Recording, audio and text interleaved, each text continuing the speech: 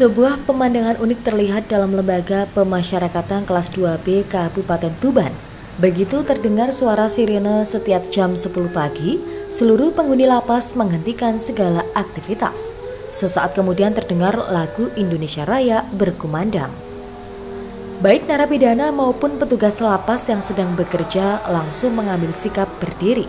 Tanpa komando mereka serempak ikut menyanyikan lagu Indonesia Raya Lagu kebangsaan ini pun menggema hingga seluruh sudut lapas.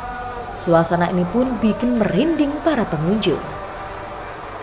Meski terkesan sederhana, namun menyanyikan lagu kebangsaan setiap hari ini dapat menumbuhkan rasa nasionalisme dalam diri narapidana. Mereka yang hampir lupa dapat mengingat kembali dan merasa memiliki negeri ini.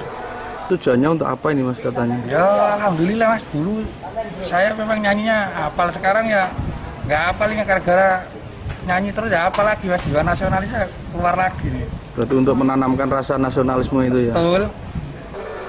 Menyanyikan lagu kebangsaan ini merupakan salah satu bagian program Lapas Tuban untuk menumbuhkan rasa nasionalisme dalam diri narapidana. Program ini baru berjalan sekitar dua bulan, tepatnya sejak awal Juni 2021. Selain mengumandangkan Indonesia Raya pada hari Selasa dan Kamis, Pihak lapas juga mengajak narapidana upacara bendera di hari Senin. Lalu pada hari Rabu dan Sabtu membaca teks Pancasila. Sementara di hari Jumat melantunkan lagu Padamu Negeri. Terkait dengan penanaman nasionalisme yaitu eh, kita telah mempunyai program di awal tahun kita yang baru terrealisasi dua bulan yang lalu sampai dengan sekarang yaitu program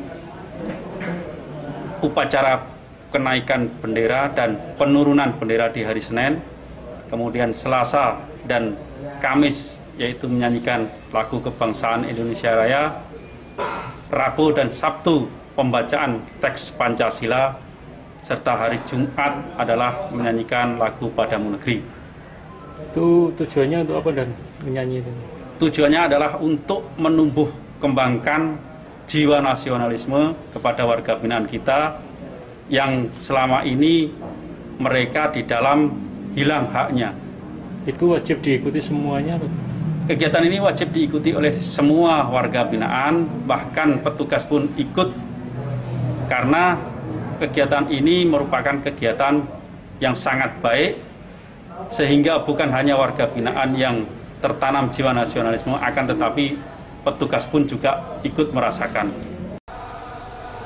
Menyambut Hari Kemerdekaan Republik Indonesia yang ke-76 ini, para narapidana juga diajak menghias lingkungan lapas. Di antaranya memasang bendera merah putih dan sejumlah atribut lain yang dapat menumbuhkan rasa nasionalisme. Husni Mubarak, JTV, Tuban.